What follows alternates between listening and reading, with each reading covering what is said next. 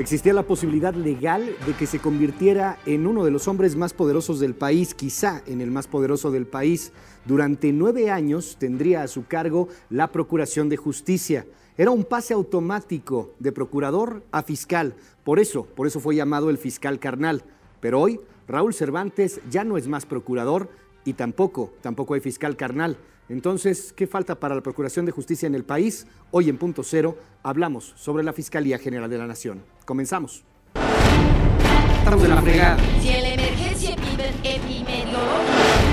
Creo que no me va a caber en la cartera. Pues uno te hizo ganar, pues tú vas a ganar con uno, puedes ver o no. Todo por el cochino dinero. ¿Por qué le tiene tanta admiración a un dictador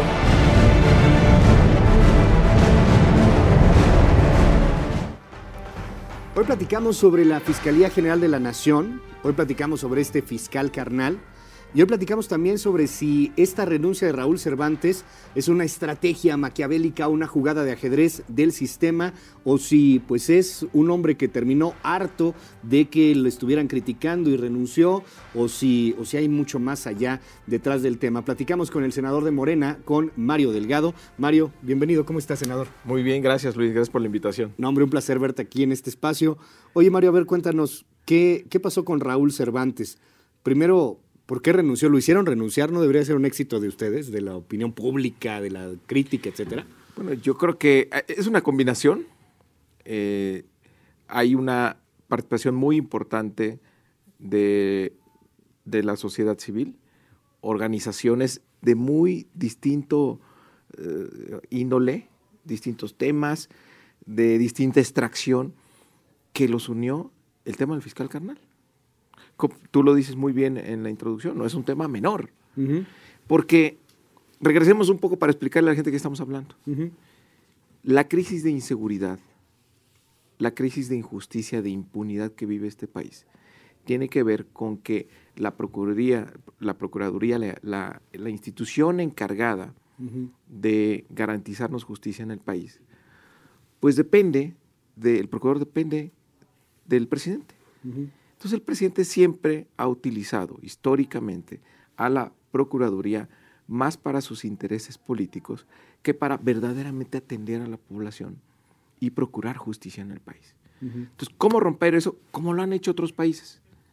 Tener un fiscal, un procurador, un ministerio público autónomo, independiente, que el presidente no le pueda ordenar. Oye, hay esta elección, pues sácate una investigación sobre este candidato o amenaza a este con lo otro, en fin. O sea, que no haya un de- uso político. De la Procuraduría como un arma política. Sí, que, que ahí... Porque pues, él es tu jefe. Así es.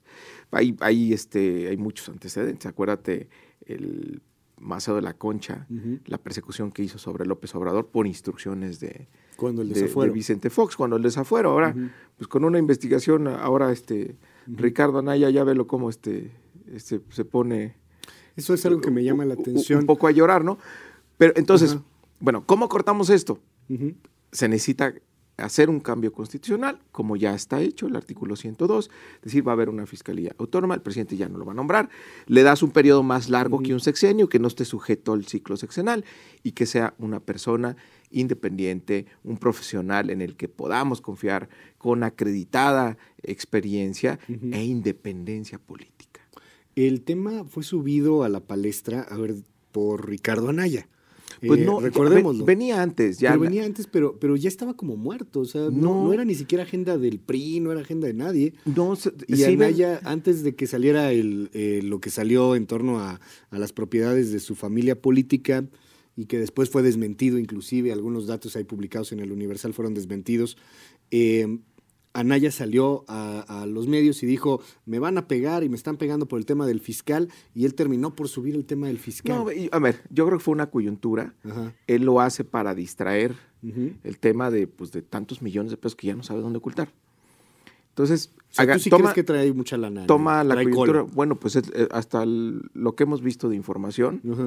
Este, o tiene mucha suerte o es exitosísimo para los negocios. Yo no sé por qué se dedica a la, su a familia la- tenía mucha lana. Yo no sé por qué se dedica a la, a la política. entonces, si, si es tan bueno para los negocios. ¿no? Entonces, bueno, eh, aprovecha la coyuntura. No, viene, hay que reconocer el trabajo de la sociedad civil. Ve la cantidad de organizaciones que se sumaron. no los pelaron cuando causa. estaban en No, eso, Claro que sí. hace como un año. Acababan de ir al Senado a entregar Ajá. un. Bueno, tema- ustedes creo que sí lo recibieron, ¿no? Sí, nosotros lo recibimos y todo. Incluso, bueno, fuimos más allá. Ajá. Presentamos el documento de estas organizaciones en la Cámara de Diputados como un voto razonable. Asumimos por completo la postura de la, de la sociedad civil. Entonces, bueno, está esa coyuntura. Empieza esta dinámica de desgaste. ¿Por qué? Bueno, porque había un artículo transitorio que decía que cuando se entra en vigor la Fiscalía General, esta autonomía, se queda de manera automática el, el procurador, el que esté en funciones. Solamente Entonces, como bueno, primera ocasión. Pues, Iba a ser como, el como primer un tema excepcional, como un artículo transitorio. Entonces, Cosa que también habían votado así los legisladores, entre ellos Anaya. así se votó, entonces, claro, así lo pactaron. Así lo pac- ¿Ustedes votaron a favor, en contra en ese El- momento? la fracción del PRD en su mayoría votó a favor. Ya quienes simpatizábamos en Morena desde ese año, 2014, Sí. votamos en contra. Tu servidor votó en contra. Entonces, ¿qué, qué, qué- qué pasa? Bueno, empieza esta confrontación. Pues el señor Anaya ya no, ya, ya no le cae bien Cervantes porque lo está investigando. Entonces empieza este desgaste. Ahora, ¿qué pasa? ¿Qué quiere de fondo el presidente? Quiere dos cosas, Luis. Quiere tener un fiscal transeccional, que asegure la impunidad, que no lo van a tocar en, en algunos años. Y segundo, pues que sea su fiscal carnal, que sea afín a él. Entonces, ¿cómo lo va a lograr? Por eso dicen, ah, qué sorpresa la, la renuncia de Cervantes. No, puede haber sorpresa, pero no puede haber ingenuidad. Es una jugada, como dicen por ahí, fríamente calculada. Pero ¿Qué, no- qué creo ver, que sigue? ¿Qué, qué que va a pasar? Se volvió una ficha prescindible Cervantes. ¿Por qué? Porque había un pleito con el PAN. ¿Qué necesita Peña para obtener estas dos cosas? Una fiscalía transaccional y un fiscal acuate carnal a él.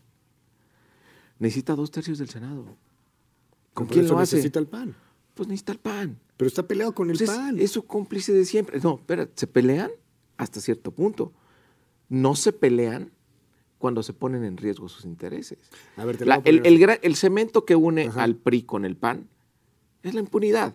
Entonces, cuando ven amenazada el poder continuar esa impunidad, el protegerse unos a otros, entonces se pone de acuerdo en dos minutos. ¿eh? Entonces, ¿qué, qué creo que sigue? Que vamos a pasar del fiscal carnal al fiscal del PRIAN. O sea, es- rima muy bonito, es- Mario, pero a ver, es- a ver, es ahí lo hay que cosas viene. como raras. A ver. de acuerdo a tu teoría, eh, de- está bien, o sea, pero de acuerdo a tu teoría, yo la entiendo de esta manera. La melcocha que va a volver a unir al PAN y al PRI se llama Raúl Cervantes, se llama el nuevo fiscal, neta. o sea, No, ¿tú crees que no, esto no. va a hacer que se vuelvan a unir? Si se, se están sacando Raúl los Cervantes- ojos, Mario. No, No, Ra- ah, no, pero espérame. Raúl Cervantes ya no- creo que yo ya no va a aparecer. o sea, ese pretexto es la miel que los va a volver a unir al PRI y al No, PAN. lo que los va a volver a unir es que López Obrador sigue adelante en las encuestas y hay una posibilidad real de que sea presidente de la República. A ver, eso sí es un tema. Por lo tanto. ¿qué van a hacer? ¿Qué, qué es lo que une al PRI y al PAN? Pues es la complicidad. Bueno, vamos a hacer una Entonces- pausa rápidamente, perdón Mario. Venga. Y regresamos, regresamos con, con ese tema para ver, explicar exactamente porque, a ver, coincidimos al menos tú y yo en algo. Hoy día están divididos, ¿no? O sea, PAN y PRI hoy día no se quieren. Están Pues- peleados. De- ah, ahorita, lo, ahorita lo platicamos con tiempo. Bueno, no todos los, no todos los panistas. Hacemos una pausa, seguimos con más.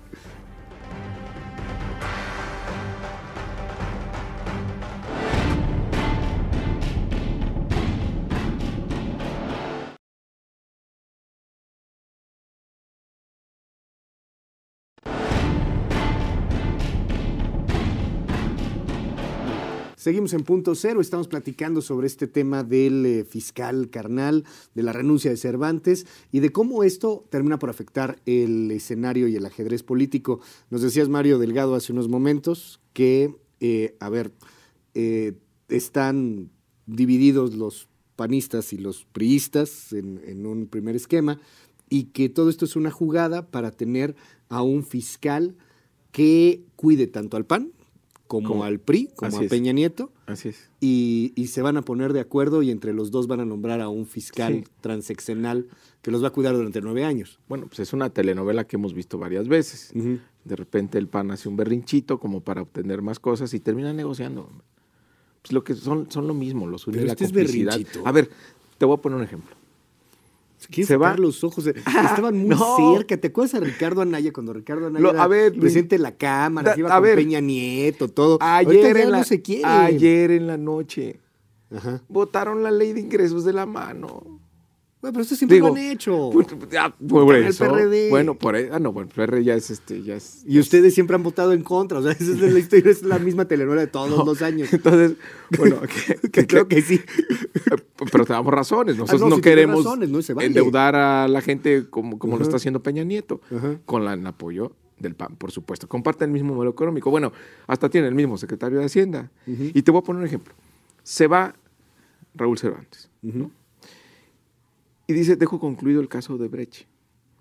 ¿Por qué México es el único país donde no ha pasado nada en el caso de Brecht? Tienes en otros por lo menos cinco países donde hay este, hasta Sí, expresidentes acusados. De los 11 países. Hay contratos cancelados, en fin, ha habido una gran cantidad de medidas tomadas a partir del caso Odebrecht. En México no, ¿por qué? Porque es el eslabón que une la corrupción de Calderón con Peña. Hay contratos que tiene Odebrecht donde los, eh, la gente de Odebrecht dijo, ahí dimos lana. Si tú revisas contratos, tiene cláusulas anticorrupción. Esos contratos deberían estar cancelados, pero involucran la administración de Calderón y la administración de Peña. Esos contratos siguen vigentes, causándole un daño al Estado mexicano y no pasa nada. Tú conoces a Entonces, en el tema de la corrupción, se unen el PRI Sí. y el PAN. La impunidad, es la protección, protegerse unos a los otros. Ese es el mantra del, del, del PRIAN. ¿Tú Protejámonos unos a los otros. Entonces, ¿qué, ¿por qué creo que se van a poner de acuerdo? Se van a repartir el fiscal anticorrupción, el fiscal general, está la amenaza de López Obrador, entonces pues se cubren con eso. Entonces obtiene Peña un fiscal transaccional, una protección transaccional y un fiscal este, amigo. Bueno, ahorita alguna sobre lo de manera. Raúl Cervantes, pero nada más para que no se nos vaya esta idea. Eh, pues entonces López Obrador, si llega, va a llegar atado de manos. Por- ¿Qué está diciendo López Obrador? Hagamos, eh, procesemos esto ya cuando haya un nuevo presidente. Pero lo mismo ¿Por dice? Peña Nieto. No, no dice lo mismo, es, es muy diferente. ¿Qué dice Peña Nieto? Resolvámonos después de la elección, que es muy distinto.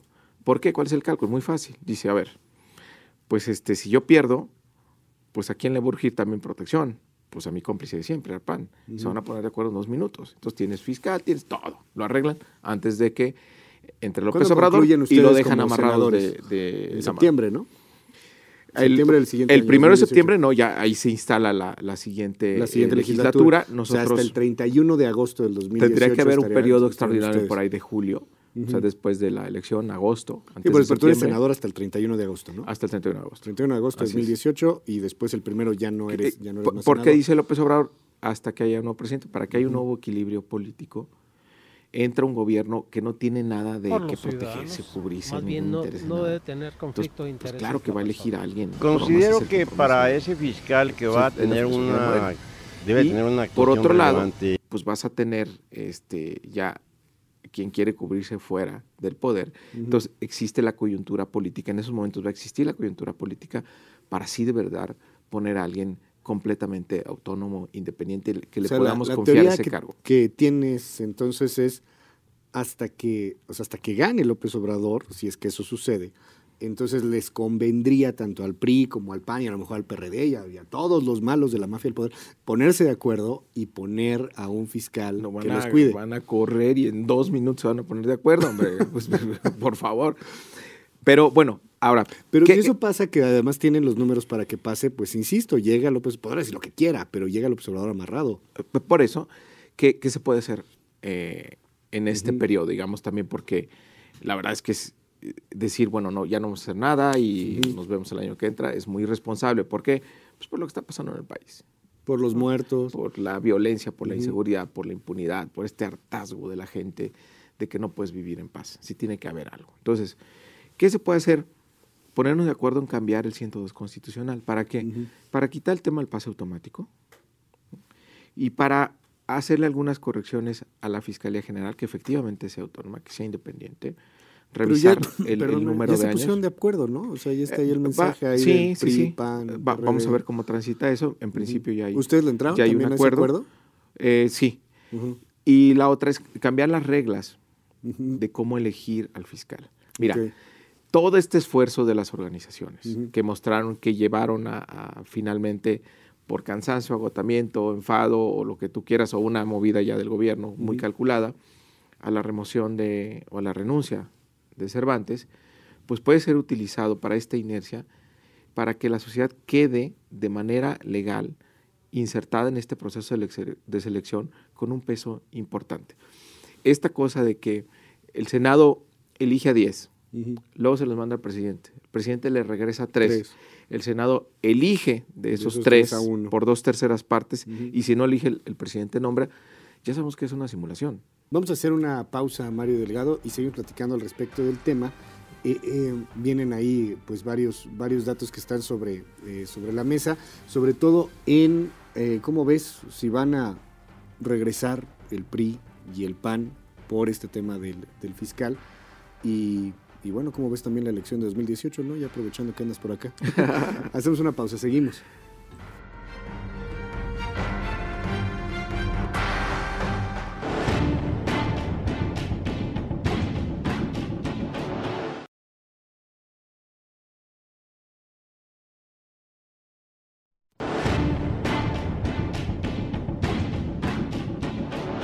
Por los ciudadanos. Más bien no, no debe tener conflicto de intereses la persona.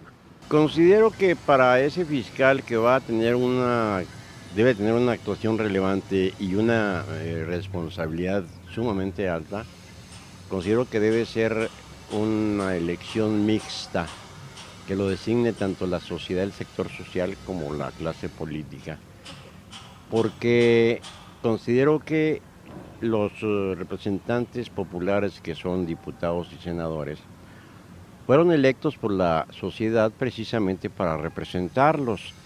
Y en este caso sería una especie de eh, acto eh, circunstancial de que también participe la sociedad, porque en todo caso quien tendría que elegir, elegir a ese fiscal serían los representantes populares porque son los representantes de la sociedad. Porque considero que un puesto como ese tiene que ser una persona lo más honorable posible, lo más honesta, lo más uh, creíble. Y la verdad, pues yo soy de las personas que ya no creen en la clase política, la verdad. Por la sociedad, eh, porque eh, como que el sistema ya está muy agotado. Definitivamente debemos este, reordenar todo el sistema político, ya que la democracia pues es simplemente, entre paréntesis, disfrazada. Seguimos en punto cero, platicamos sobre el tema del fiscal eh, general de la nación, pues ya, ya no hay eh, procurador y se antoja que tampoco podrá haber pues ni otro procurador ni, ni, otro fiscal, sino hasta pasando las, las, elecciones. Dices, Mario, que hay que hacer caso, platicamos con Mario Delgado, dices, Mario, que hay que hacerle caso a las organizaciones eh, no gubernamentales, a la sociedad, y pues salimos a la calle y la gente opina lo mismo. Ojalá que sea algo entre la sociedad y la, y la clase política. claro, es normal por el desgaste de la clase política en su, en su credibilidad. Y es una buena coyuntura para que eso pase. Pero eh, sí, sí, sí se, sí se podrá. Es que yo los veo todos muy crispados, hombre. Están enojados. Yo creo que sí se puede. Vamos a ver cómo se avanza en esta, de aquí a diciembre, en este sentido. Hay que aprovechar el, impulso de lo que ha generado.